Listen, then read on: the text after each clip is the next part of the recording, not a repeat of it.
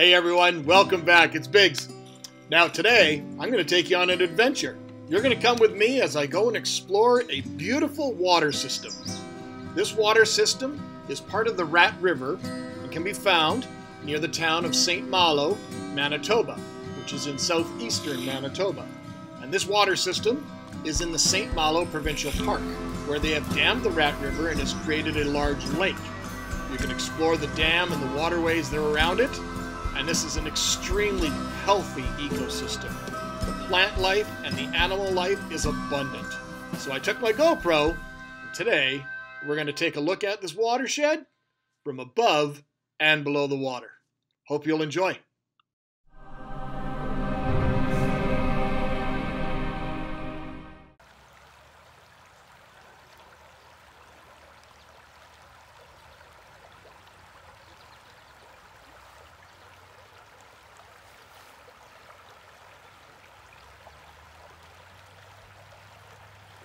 Here's a nice northern pike just off the edge of the bank.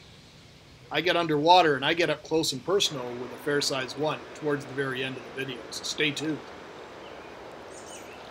The sign of a nice healthy environment, bright clear water, lush plant growth. The diversity is incredible.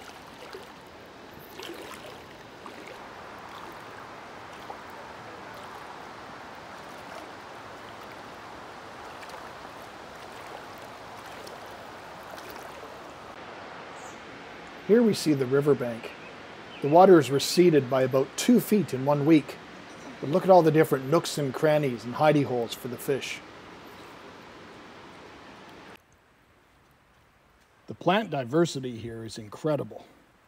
We have some of the obvious character ones, the, the, the, the hornwort, which is you know very, very plentiful in the slower backwater areas. We have some sort of milfoil, water milfoil of some type, and it grows very, very fast nice and feathery. Looks reminiscent of things like cabomba and limnophilias. There's something else here that grows very, very weedy.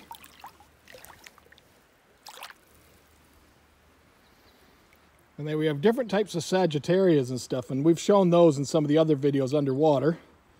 And then we also have it where it grows out of the out of the water at the back there, and that's the one that they call arrowhead. It has those very characteristic sheep shaped leaves. Here's that Sagittaria with that very, very characteristic leaf shape.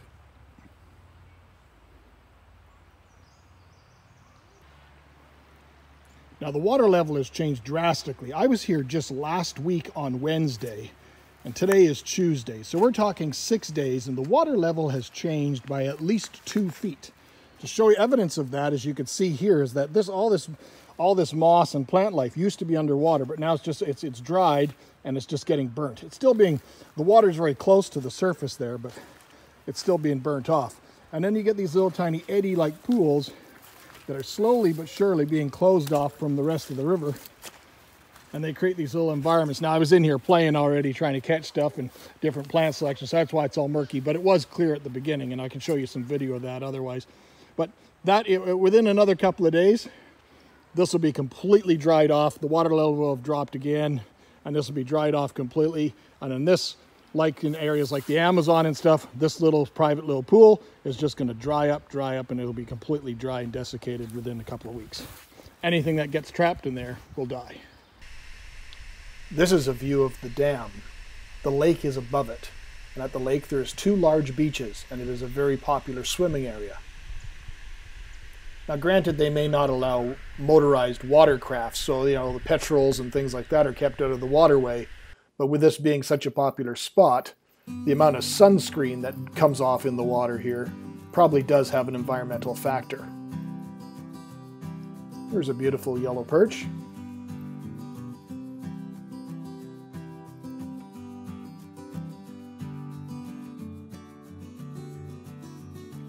It's a pretty prevalent species here. The diversity of the amount of species of fish that are going to be in this video that we saw in this location astounded me. There's several different types of minnows and shiners and chubs, of which I don't know the names of most of them. Different types of pondweed. As you can see, the current is very, very strong here. That's that Eurasian milfoil. All these fast-growing bunch plants are extremely excellent oxygenators for the environment. Not that it really needs it with the, the amount of uh, water coming over that spillway,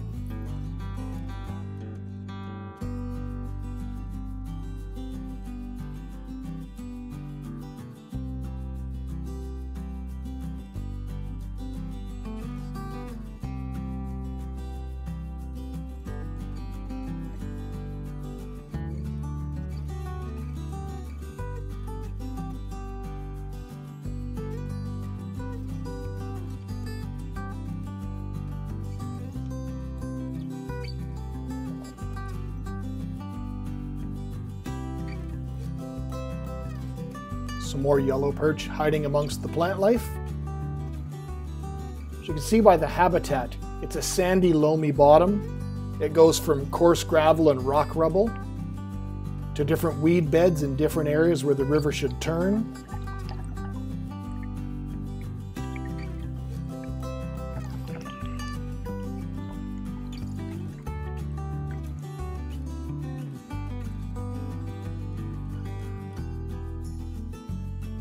Extremely fast flowing water. There you can see the sandy loamy bottom. The plants are just thriving. Now off to the side you often see these little pockets of different types of plant life. There's more hornwort, more sagittaria,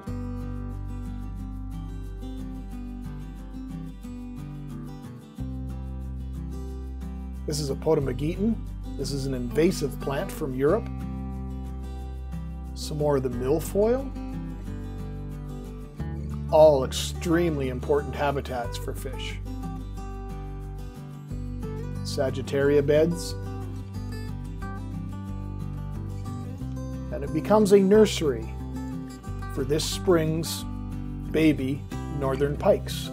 This is one that's probably about 8 to 10 inches in size and they are pretty abundant once you get behind into the sides and you see them amongst all the weeds. Normally they're very, very flighty, but I spent several hours in the water. I shot over 200 videos, so I'm very thankful that I was able to get some good shots of them. But the one towards the end is absolutely the piece of the cake. A much larger pike that we got up close with. The minnows absolutely love swimming against the current in the fast water. They were everywhere. They would chase the camera down. And there's a nice little school of uh, fingerling perch.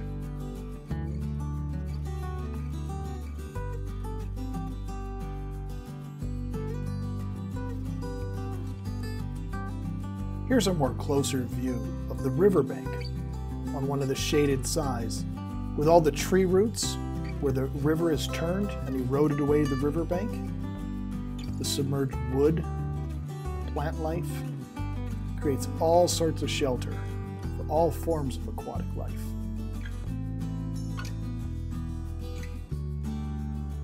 A very, very healthy environment.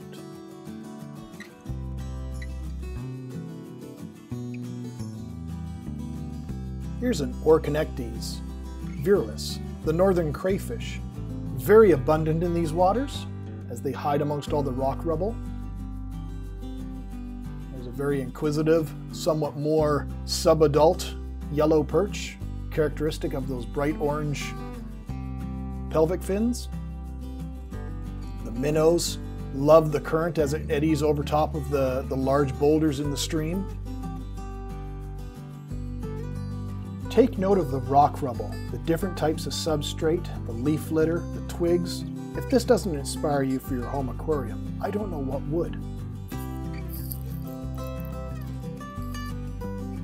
This is an Ambloplites rupestris, also more commonly known as the rock bass. This one was a master angler. It was all of a foot. This is a, this is a sign of a very, very healthy river system.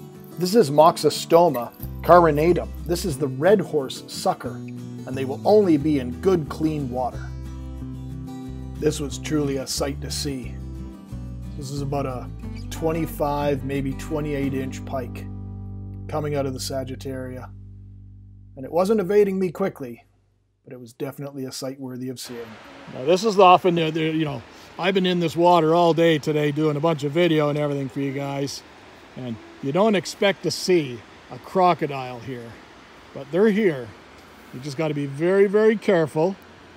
You don't want to sneak up on them. If you do happen to see one in the wild, you just want to leave it be, give it some space, and observe nature.